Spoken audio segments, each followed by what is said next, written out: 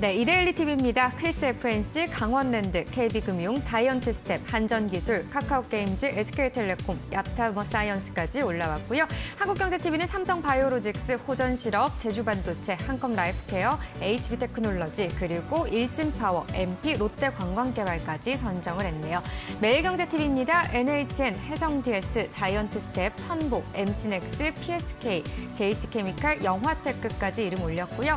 MTN은 팬 엔터테인먼트, 옵트론텍, 한솔 로지스틱스, 네오위즈, LB세미콘, 강원랜드, 서울반도체, GS 글로벌까지 올렸습니다. 네, 옥석 가리기 하겠습니다. 세 가지 종목 이슈 체크할 텐데요. 첫 번째 종목부터 확인해 보죠. 네, 오늘 어, KB금융 어, 음. 선정을 좀 했습니다. 예. 뭐 최근에 은행주들 계속해서 좋은 흐름 어, 보여주고 있죠. 뭐 지난주 같은 경우는 계속해서 신고가 행진을 어, 보여줄 정도로 상당히 좋은 흐름을 보여줬는데 오늘도 KB금융 한 3% 가까운 상승을 보여주고 있습니다.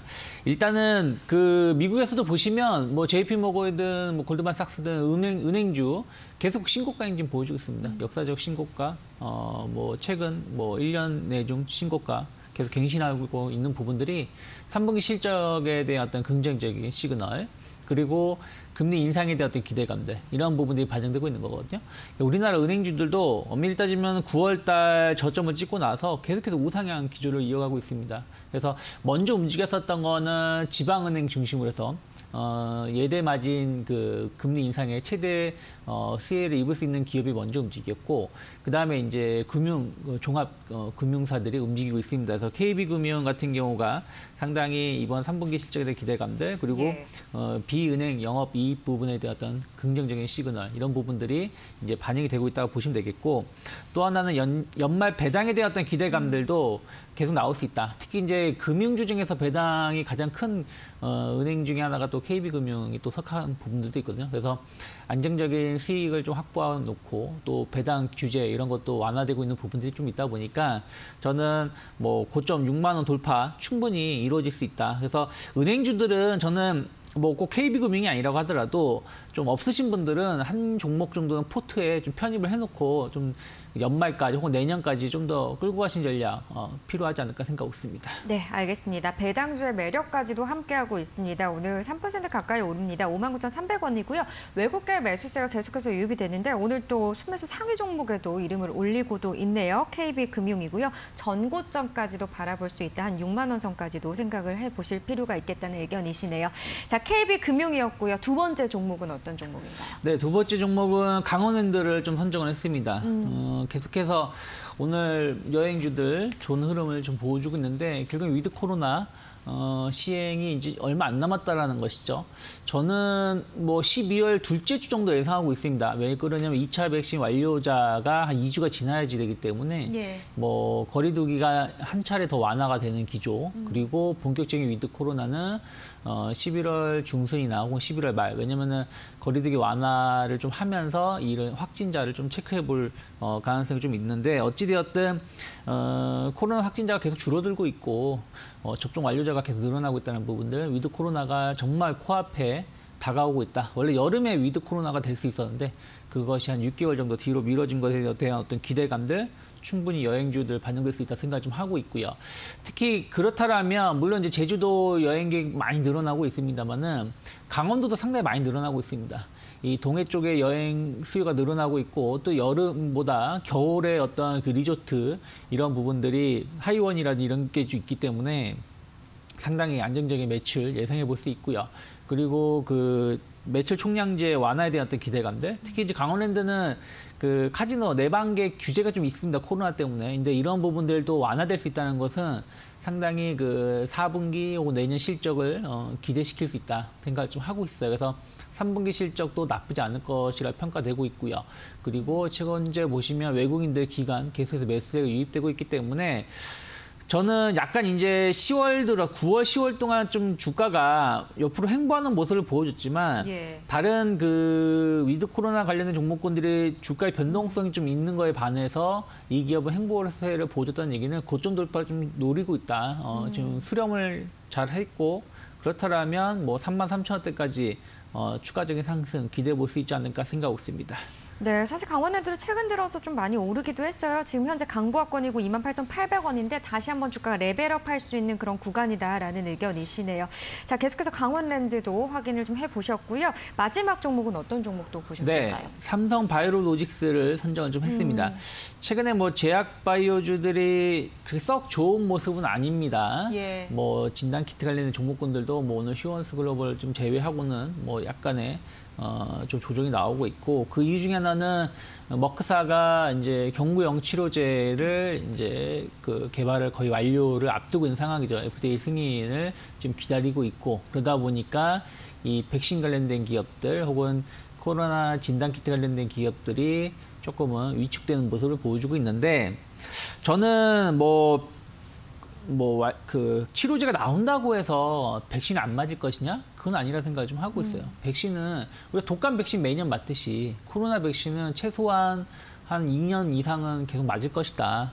그럼 그와 관련돼서 여튼 매출은 안정적인 매출 혹은 어, 추가적인 매출 증가는 계속해서 이루어질 수밖에 없다.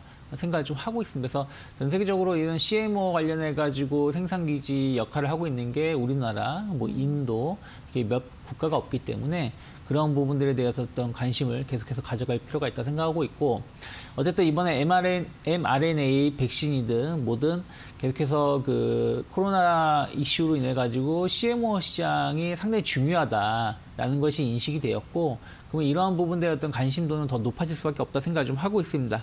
거기다가 삼성 바이오로직스는 기존에 어, 계약된 그 항체 치료제 관련된 물량은 계속해서 어, 지속적으로 생산 가능성이 높다 생각을 좀 하고 있고 또 신규 수주의 모멘텀들 계속 있다라는 것이죠. 계속해서 공장 가동률이 높게 나오고 있는 거 본다라면 저는 최근에 그 9월 달 머크사의 그 치료제 개발이 나오면 얘기가 나오면서 주가가 좀 급락을 했지만 충분히 저는 이것은 이겨낼 수 있다 생각을 좀 하고 있습니다. 그래서 저는 뭐 100만 원대까지 목표가 여전히 잡아놓고 삼성바이오로직스는 시간과의 싸움을 좀 하신다라면 전 충분히 어, 수익 음, 가능하지 않을까 생각하고 있습니다.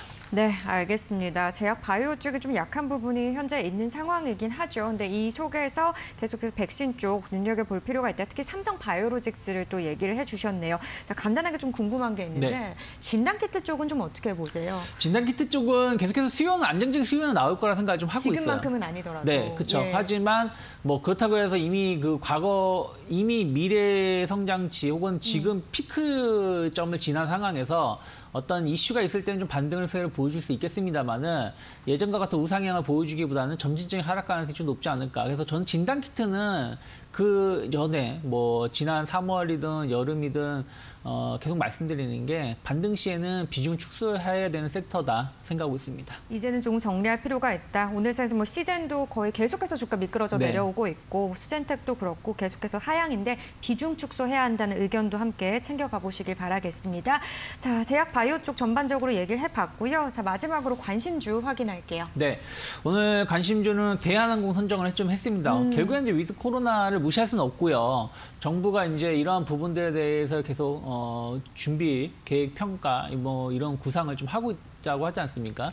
오늘 이제 위드 코로나 관련 종목군들이 움직이는 게 여행 관련된 종목군들이 많이 움직임이 나오고 있습니다. 그러니까 그 안에서도 계속 순환매가 나오고 있다고 보시면 되겠는데 처음에 여행 섹터가 움직였었고 그 다음에는 소비 관련된 섹터가 움직였었고 또 뭐 그 섬유 의복주라든지 뭐 엔터주들 그러니까 뭐 엔터주들이라는 얘기는 뭐 그 오징어 게임을 제외하고 뭐 그 외부 콘서트 활동이나 이런 게 많아질 수 있다 보니까 이런 극장이라든지 기획사 이런 부분들이 움직였었고 그러면서 다시 이제 여행 관련된 종목으로 움직이고 있는 것 같습니다. 계속해서 해외 여행 수요에 대한 어떤 관심도는 높게 나오고 있고 그리고 그 이쪽에 관련해서 어떤 여행객 어, 수요도 안정적으로 좀 발생되고 있다는 것이죠. 최근에 그 뭐 보면은 여객 그 탑승률이 상당히 높아지고 있는 부분들 물론 전반적으로는 아직은 미미 예전에 비해서 미미하지만 특정 우리가 여행 규제가 완화된 지역은 뭐 탑승 탑승률이 한 8, 90% 이상 어, 육박할 정도라고 하니까요. 그래서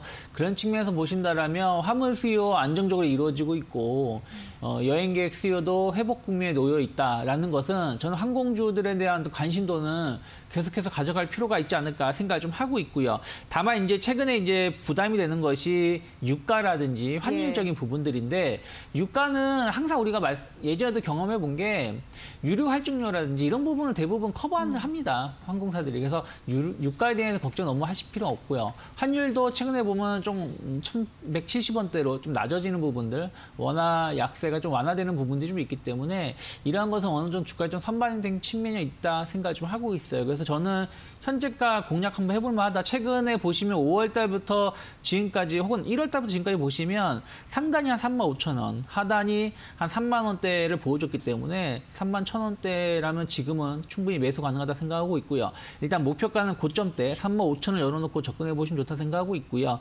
저는 2만 9천 원을 크게 훼손하지 않는다라면 저는 일단은 항공 대한항공 계속해서 좀 모아가실 필요가 있지 않을까 생각하고 있습니다. 네, 원유에 대한 얘기를 해주셨는데 지금 뭐 2014년 10월 이후로 최고치를 또 기록을 하고 있고 90달러 선까지 올라갈 것이다 이런 전망들도 나오고 있습니다만 그렇게 크게 걱정할 만한 포인트는 아니다라고 좀 얘기를 해주셨네요. 오늘 2%대까지도 상승력 가져가고 있고요. 3만 1,200원에 거래가 되고 있습니다. 목표가는 한 3만 5천 원으로 제시를 해주셨고요. 현재가에서도 매수 접근 가능하다는 의견 참고해 보시기를 바랄게요. 오늘 대한항공까지 듣겠습니다. 고맙습니다. 고맙습니다.